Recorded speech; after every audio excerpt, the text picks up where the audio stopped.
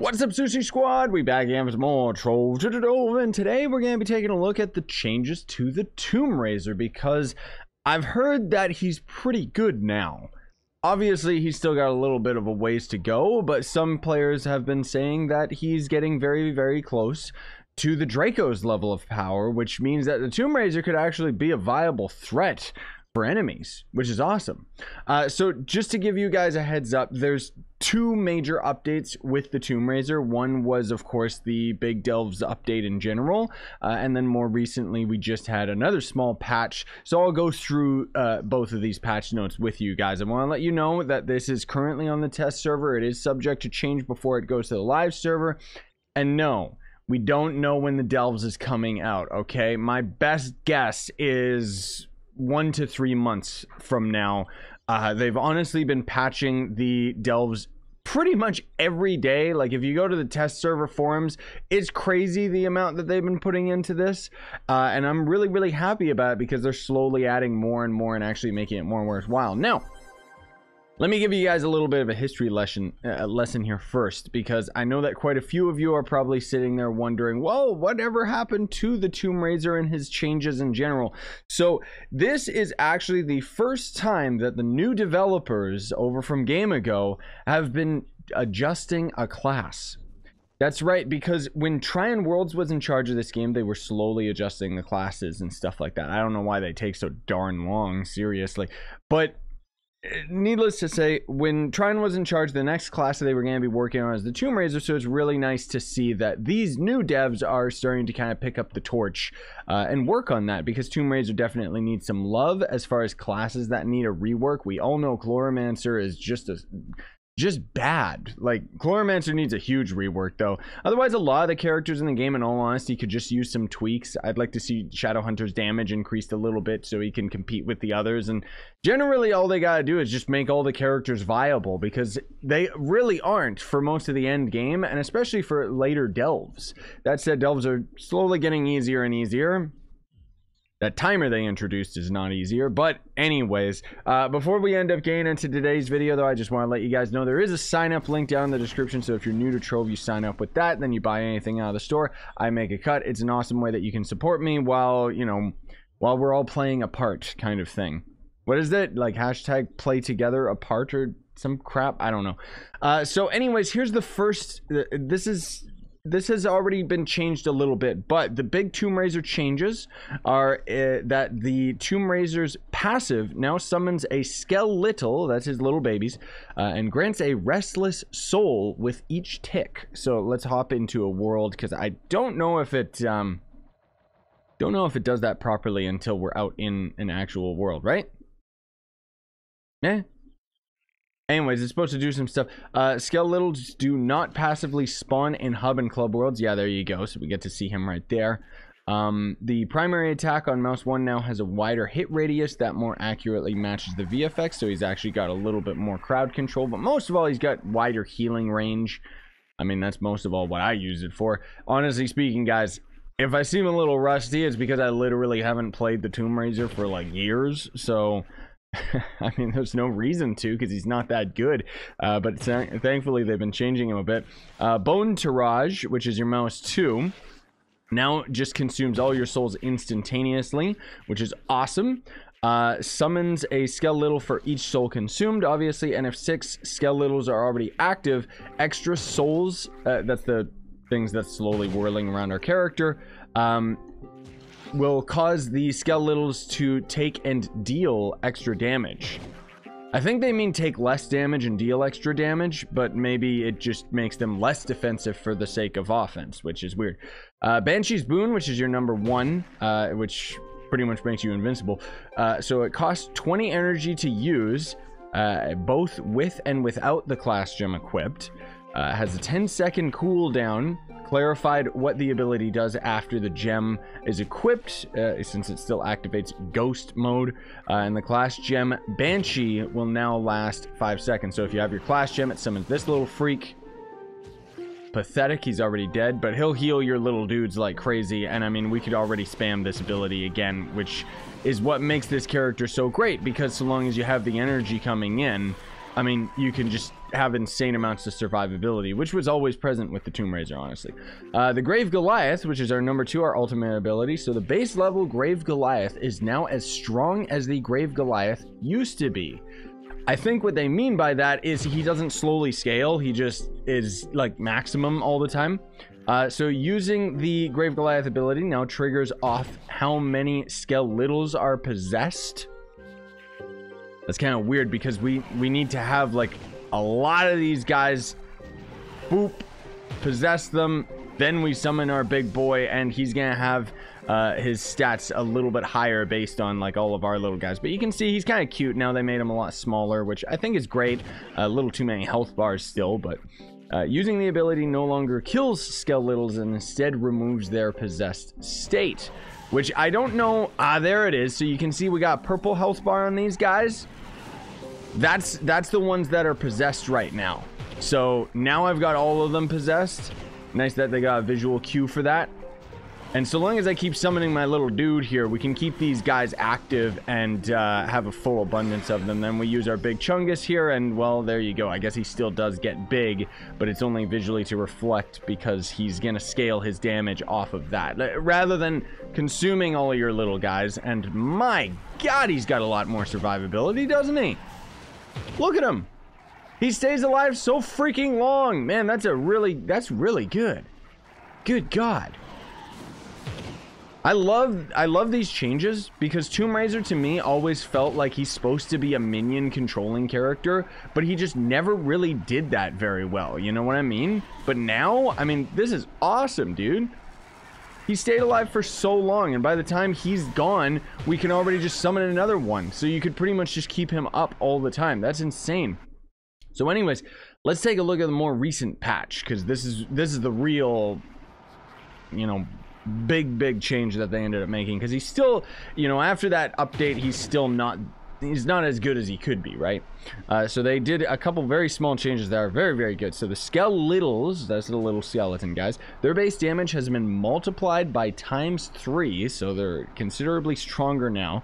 Basic attacks uh, base damage has been multiplied by three time 3.3 times uh, so to be at the level of the ghost form uh, was at previously. So I guess you would do more damage while you're in this ghost form, and now uh, you are just doing that base amount of damage like this, and then if you ghost form it up, I guess we're doing more damage.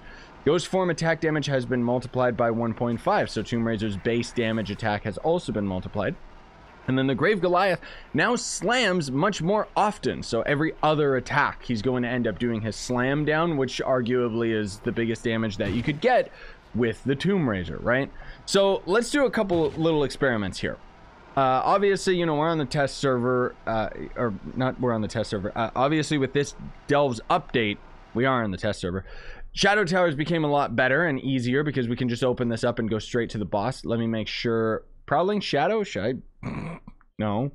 Uh, where is... I'm thinking, what are the new allies? I guess I'll have to swap to one of those light allies later. Let's see what happens if we use Chrono Cubesley. Like, I don't know what's going to happen with that. But let's open Ultra Spike Walker, just because. It's not going to be the best example, but let's try it out. Let's see what his damage is, and then we'll try and hop into some considerably stronger delves. Uh, also, I want to let you guys know that I swapped all my gems off of my Draco, so we can't test him out anymore in the higher tiers of delves, but that's perfectly fine because I've been honestly just grinding the lower tiers. Uh, so, are my babies going to start spawning in? Yeah, there you are. Okay, well, this is probably going to end up taking a little while. I don't like how they keep reusing the flask consume animation. Like, even when you have a soul around you, he's just doing the popping a flask drink animation, right? Which is kind of lame because the knight has that as well when he pops his alt, which gives him the barrier around him.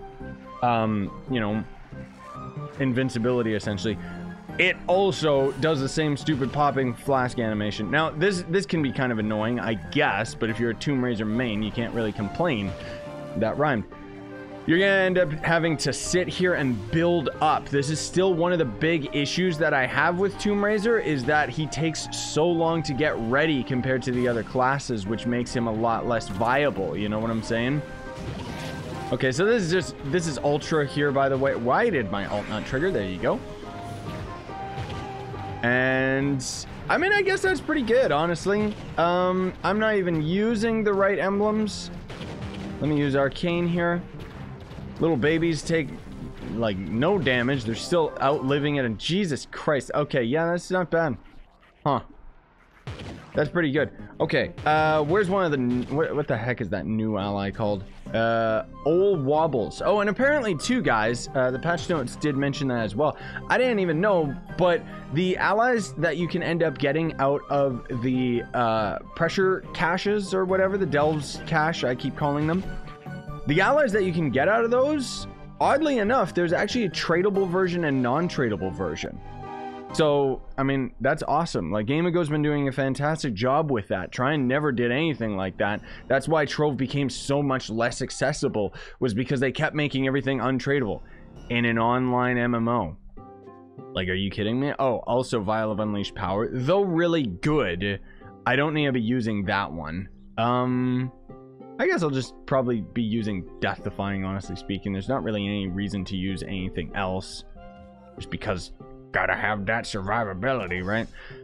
Let's throw down a portal here and let's test it out. We're also at just barely 35 kpr, so let's find out what difficulty we're gonna be in. Hopefully it's not U11, but even if it is, that's the perfect test. U9? What?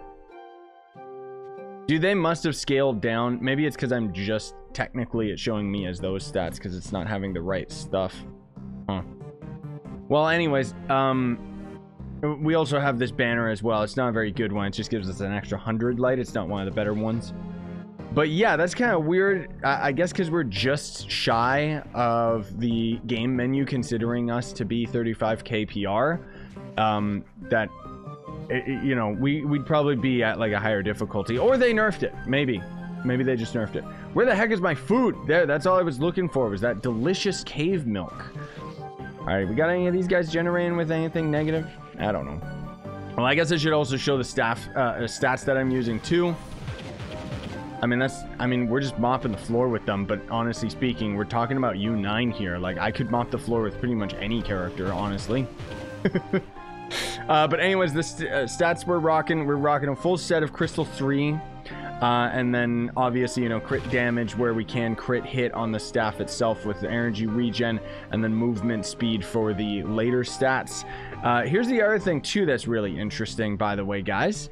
So they've been upping the stats that you get for Crystal 4 Oddly enough, the devs have not given me a full set of Crystal 4 yet. I don't, like, I feel bad messaging them over and over again, but I guess they've just been busy with stuff. I don't know. Maybe I'll have to message one of my other contacts to get all the stuff, because I want to show you guys all the Crystal 4. I mean, that's what all the hype's about. Man alive, these minions kick ass. Like, look at that. Jesus. But anyways, uh, the Crystal 4 staff used to be pretty crummy stats. Now, you can see, this is pretty crazy.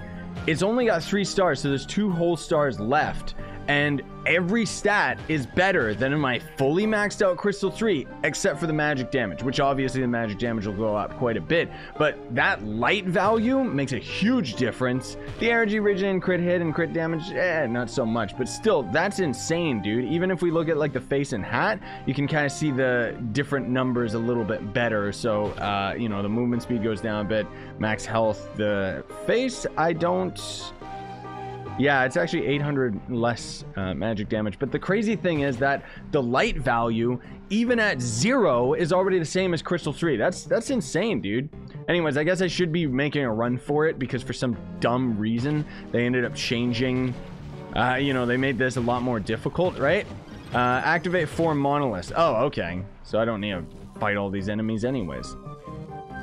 It's too bad that we're not in like a higher tier, honestly speaking, because that's not really gonna be the best example. However, this guy, I mean, no, it's not. It's not a good enough example. Like I can't, I can't properly say anything about this just because of the uh, stats that we're rocking here. You know?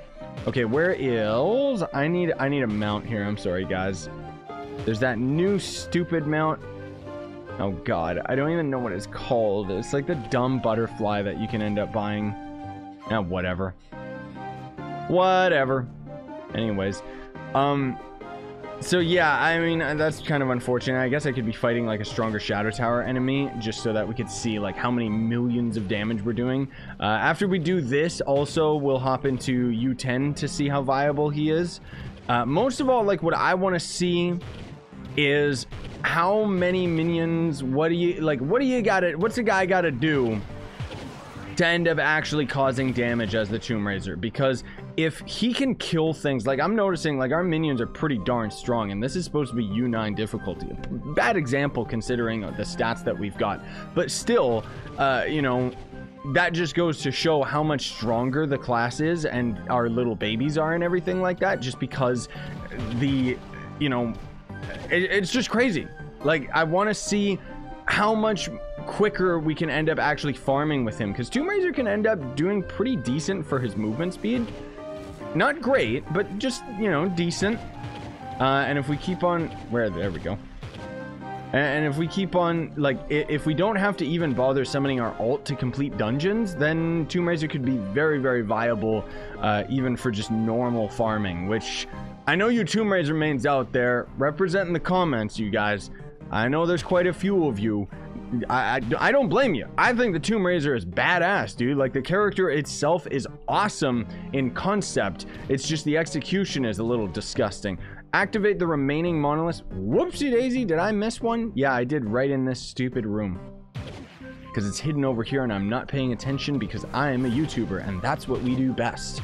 Not pay attention to things. You ever notice that when you're watching like a YouTuber and it's like, oh, what are you doing? Your group has progressed to the... What? That's kind of weird. So I could touch the boss room and then it counts as the whole group has gotten to the boss? Weird. Come on, boys. Come on.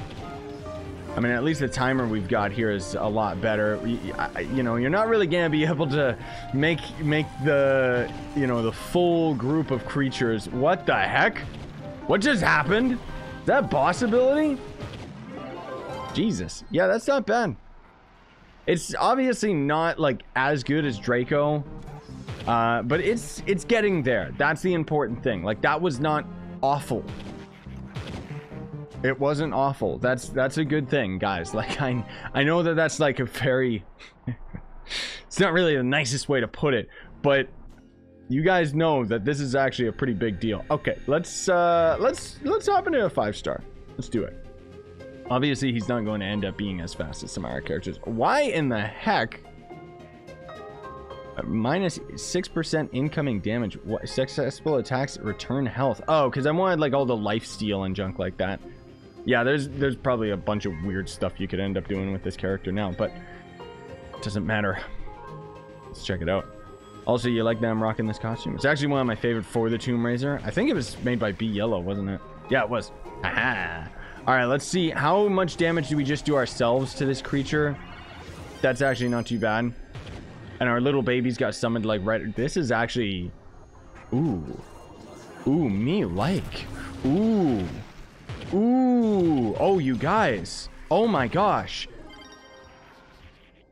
Because because obviously, guys, with Delves, I'm a little bit inexperienced because obviously I haven't had years of experience with... Jesus Christ. Okay, this is epic the best way that I can gauge how much change that they've actually made to this character is by doing the one thing that I do the most, which would be going through Shadow Towers, but now we get to just cheat at the boss, which isn't the best example, and farming.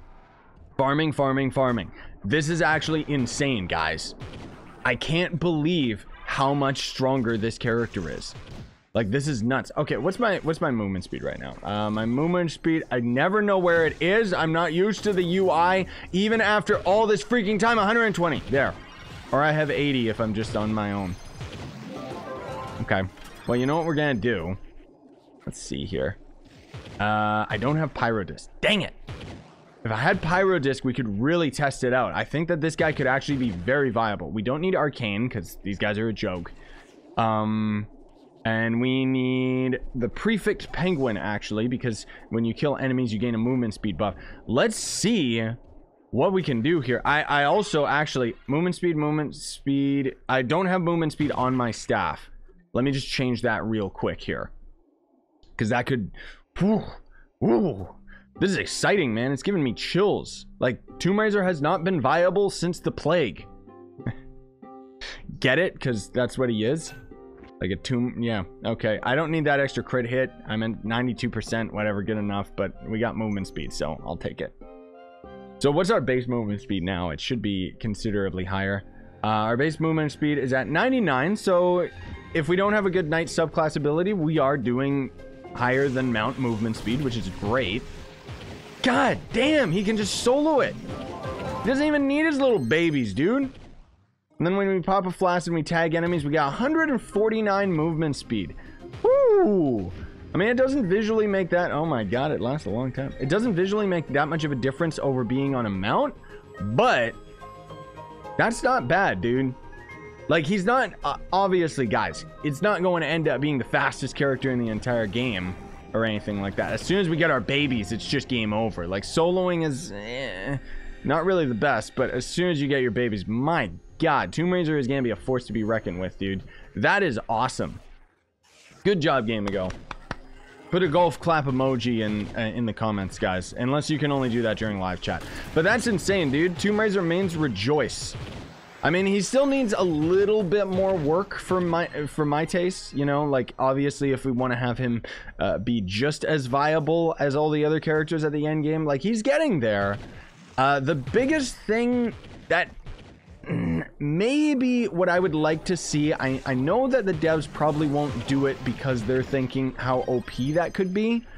I would like to see your souls maybe generate a little bit faster because I'm not liking how slowly...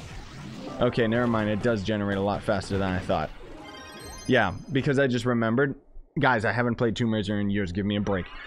I just remembered you generate more souls when you're actually doing damage.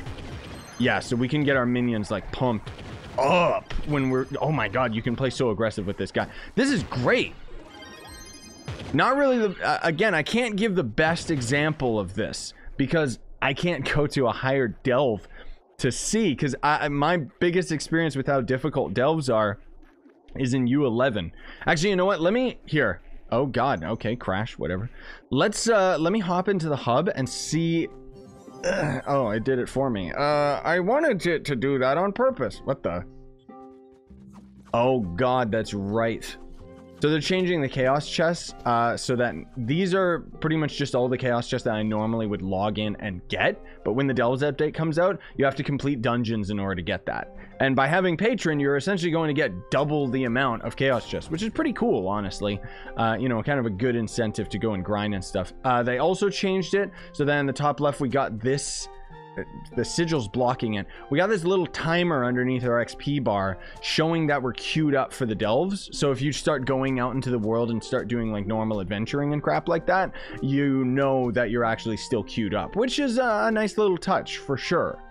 But anyways, if you guys would actually like ready up instead of this, I'd love to see if we can get to U11. If we can't, whatever uh, you know, I'll have to try something out with Joe, I guess, but he's not on right now because as I'm recording this, it's like really, really, it's like six in the morning my time. But anyways, that's really cool. Let me see if I can get in a group. Two hours later.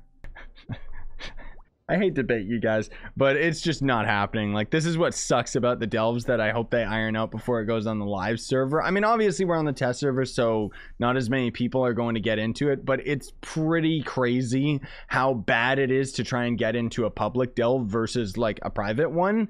Which, I mean, obviously, why wouldn't you want to just go into a private one? I was trying to get in with a group so that I could hopefully end up seeing a higher difficulty, but honestly speaking, it would probably scale it down just because the amount of people uh, that are going to be low lower end PR. But that's awesome, dude. The changes that they've made are significant to the Tomb Raiser. Uh, I still would like to see him upped a little bit. Like he's he's almost there. He's almost as good as the top tier classes in the game. As of right now, he's already like a top tier character now. You can actually like you can use the Tomb Raiser. He's viable. That's awesome. But for my money, he needs just a just just a little bit. It's kind of the, it's kind of the same as well, I was gonna say it's kind of the same as Shadow Hunter, but Shadow Hunter is pretty low tier just because of the fact that uh, he just needs to have higher damage and his ult sucks. But anyways, Thanks for watching, gamers. Really appreciate it. Hope you guys enjoyed today's video. If they make any more changes to the Tomb Raiser that are significant, obviously we'll end up talking about it. More than likely, we'll only talk about the Tomb Raiser's rework again uh, when it comes to the live server. But as of right now, I mean, this is great. I'm really, really excited for this just because the classes to me are the most important aspect of Trove even the delves whether you know it's hit or miss like i see i see you guys in the comments. Lots of you guys are saying you don't even care about it. Uh, i think that the delves can end up being something special if they end up making it cool but the biggest problem that i think everybody has with the delves is aesthetically it's just a bunch of random generated block rooms and not to mention the fact that it's rooms in general versus being out and in the world and being able to see the sky. There's just something that it does to your brain when you're in a conflo- uh, enclosed space in a video game as opposed to being able to see the skybox and stuff. I think so, anyways. Let me know what you guys think. But what do you guys think about these Tomb Raiser changes? I'll answer that for you. You think it's awesome. I seriously think they should dedicate more resources to rebalancing all the characters, and then I think a lot of older players would end up flooding back in, uh, even more so than just a content update. But that said, I mean, obviously a content update is welcome, but it's cool that they're sneaking this in there. Thanks for watching. Smash like, sub for more, buy the merch you want to support the channel. Please, God. No, you don't have to. I know. I know what it's like, guys. with, with all the virus stuff. Anyways, sign over and stay up, at gamers. We won't get into any of that.